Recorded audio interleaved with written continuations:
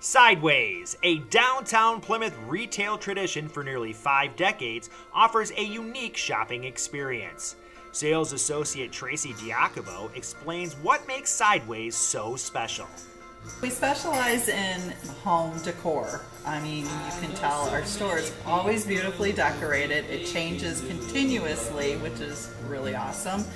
But what surprised me when I started is the amount of cards we sell. We have the best card selection around and our customers love it. We have been in same building, same owners for over 46 years, which I think is amazing. And we have third generation customers coming now, which is pretty cool.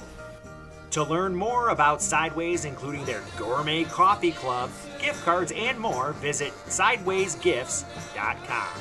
For a listing of all shops and restaurants in DTP, please visit downtownplymouth.org.